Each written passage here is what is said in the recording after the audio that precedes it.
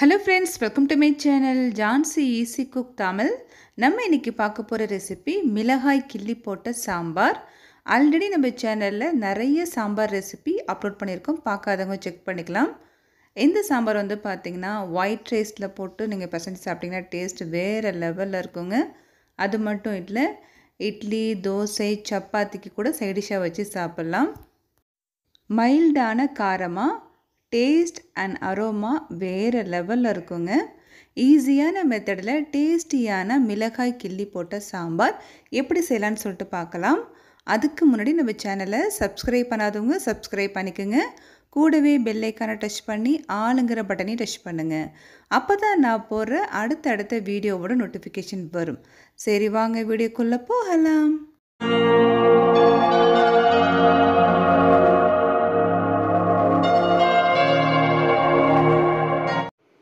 Sambar ready பண்ணுறதுக்கு துவரம் பருப்பு ஒரு நூற்றி ஐம்பது கிராம் எடுத்து டூ த்ரீ டைம்ஸ் நல்லா வாஷ் பண்ணிவிட்டு ஆஃப் அன் ஹவர் நம்ம ஊற வச்சிடலாம். பருப்பு ஊறினதுக்கப்புறமா நம்ம ஊற வச்ச தண்ணியோடையே சேர்த்து இந்த பருப்பை வந்து நம்ம குக்கரில் போட்டுடலாங்க. பதினஞ்சுலேருந்து இருபது சின்ன வெங்காயம் ஆட் பண்ணிக்கலாம். மூணு பழமான தக்காளி ரெண்டு பச்சை மிளகாய் ஆஃப் ஸ்பூன் மஞ்சள் தூள் பெருங்காயத்தூள் தேவையான அளவு சேர்த்து லிட்டை போட்டு நம்ம க்ளோஸ் பண்ணி வெயிட் போட்டு ஒரு நாலு விசில் விட்டு எடுத்துக்கலாம்.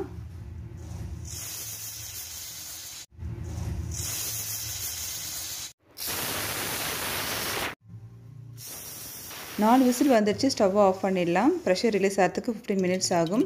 நம்ம நெக்ஸ்ட் அடுப்பில் ப்ராசஸ் ஆரம்பிச்சிடலாம். ஸ்டவ் ஆன் பண்ணி ஒரு அலுமினிய கடாய் வச்சுக்கலாம். கடாய் நல்லா ஹீட் ஆனதுக்கப்புறமா தேவையான அளவுக்கு ஆயில் விட்டுட்டு ஆயில் நல்லா ஹீட் ஆனதுக்கப்புறமா கடுகு ஜீரகம் போட்டு தாளிப்பு கொடுத்துக்கலாம். ஒரு கொத்து கருவேப்பிலை ஆட் பண்ணிக்கலாம். மூணு காய்ந்த மிளகாய் கிள்ளி போட்டுக்கலாங்க. இந்த காய்ந்த மிளகாய் தான் இந்த சாம்பாருக்கு ஒரு காரத்தை கொடுக்கும். பதினஞ்சு சின்ன வெங்காயம் கட் பண்ணி போட்டுக்கலாம். இதை ஆயிலில் நல்லா வதக்கிடலாம். நம்ம ஆல்ரெடி பருப்பு வேக வைக்கும் போது ரெண்டு பச்சை மிளகாய் வரை ஆட் பண்ணியிருக்கோம். ஓரளவுக்கு வதக்கினதுக்கப்புறமா நாலு பூண்டு பல் தட்டி வச்சுருக்கேங்க. அதை ஆட் பண்ணிக்கலாம். பூண்டு பல் சேர்க்கும் போது இந்த சாம்பாருக்கு நல்ல ஒரு அரோமா கிடைக்கும். இந்த சாம்பாரில் நம்ம சாம்பார் பொடிலாம் ஆட் பண்ண மாட்டோங்க. இதில் வந்து பச்சை மிளகாய் அண்ட் காய்ந்த மிளகாயோட காரம் மட்டும்தான் இருக்கும். மஞ்சத்தூள் ஆஃப் ஸ்பூன் பெருங்காயத்தூள் தேவையான அளவுக்கு ஆட் பண்ணிக்கலாம். ஆல்ரெடி நம்ம பருப்பு வேக வைக்கும் போது மஞ்சத்தூள் பெருங்காயத்தூள் ஆட் பண்ணியிருந்தோம் இல்லையா? ஸோ தாளிப்புக்கும் இது மாதிரி சேர்த்துடணும்.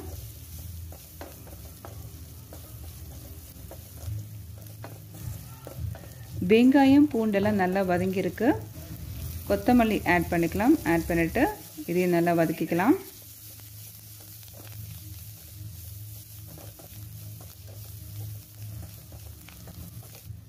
நெல்லிக்காய் சைஸில் புளி கரைசல் கரைச்சி வச்சுருந்தேங்க. அதை இப்போ ஊற்றிடலாம் ஊற்றிட்டு அதோட பச்சை வாசனை போகிற வரைக்கும் நம்ம இது போல் கிளறி விட்டுக்கலாம். இப்போது சாம்பாருக்கு தேவையான அளவுக்கு தண்ணி ஆட் பண்ணிக்கலாம்.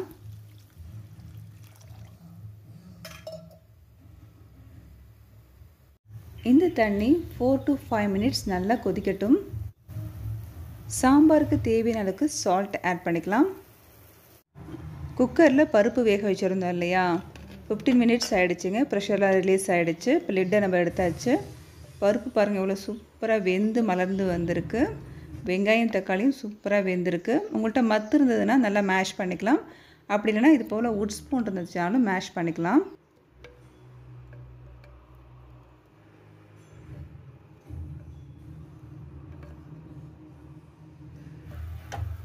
தண்ணி ஃபைவ் மினிட்ஸாக நல்லா கொதிச்சிட்ருக்குங்க. இந்த ஸ்டேஜில் நம்ம வேக வச்ச பருப்பு ஆட் பண்ணிடலாம். பருப்பு ஆட் பண்ணதுக்கப்புறமா இந்த தண்ணி இதெல்லாம் நல்லா ஒன்றா மிக்ஸ் பண்ணி விட்டுருணுங்க டூ த்ரீ மினிட்ஸ் அப்படியே நல்லா இது வந்து கொதிக்கணும். சாம்பார் நல்லா கொதிச்சிச்சுங்க நல்லா திக்னஸ் வர ஆரம்பிச்சிருச்சு. இந்த ஸ்டேஜில் ஃபைனலாக இதில் கட் பண்ண கொத்தமல்லி ஆட் பண்ணிவிட்டு ஸ்டவ் ஆஃப் பண்ணிடலாம். இதை வேறு ஒரு சர்விங் பவுலுக்கு நம்ம ட்ரான்ஸ்ஃபர் பண்ணிடலாம். மிளகாய் கிள்ளி போட்ட சாம்பார் நம்ம சூப்பராக ரெடி பண்ணியாச்சு. பார்க்கும் போதே பாருங்கள் எவ்வளோ கலர்ஃபுல்லாக இருக்குது அரோமா அண்ட் டேஸ்ட் வேறு லெவலில் இருக்குங்க. எங்கள் வீட்டில் லஞ்சுக்கு ஒயிட் ரைஸ் அண்ட் மிளகாய் கிள்ளி போட்ட சாம்பார் தான் செஞ்சுருந்தேன். சைடிஷ்க்கு வந்து பார்த்திங்கன்னா காலிஃப்ளவர் சிக்ஸ்டி ஃபைவ் பண்ணியிருந்தேன். ஸோ அதோட காம்பினேஷன் சூப்பராக இருந்தது. ரைஸில் பிசைஞ்சு சாப்பிடும் போது மைல்டான காரமாக அண்ட் அரோமா வேறு லெவலில் இருந்ததுங்க. ரைஸ்க்கு மட்டும் இல்லை இட்லி தோசைக்கும் நம்ம சைடிஷாக வச்சு சாப்பிட்லாம்.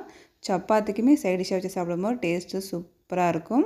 ஈஸியான மெத்தடில் டேஸ்டியான மிளகாய் கிள்ளி போட்ட சாம்பார் எப்படி செய்யலாம்னு சொல்லிட்டு பார்த்துட்டோம் இல்லையா? ஃப்ரெண்ட்ஸ் இந்த ரெசிபியை நீங்களும் இன்றைக்கி உங்கள் வீட்டில் ட்ரை பண்ணுங்கள் உங்கள் ஃபேமிலி மெம்பர்ஸ் கூட என்ஜாய் பண்ணுங்கள் இந்த வீடியோ உங்களுக்கு கண்டிப்பாக பிடிக்கும்னு நினைக்கிறேங்க. பிடிச்சிருந்ததுன்னா லைக் பண்ணுங்கள் ஷேர் பண்ணுங்கள் கமெண்ட் பண்ணுங்கள் அண்ட் மறக்காமல் ஜான்சி ஈஸி குக் தமிழ் சேனலை சப்ஸ்கிரைப் பண்ணுங்கள் ஓகே தேங்க்யூ ஃப்ரெண்ட்ஸ்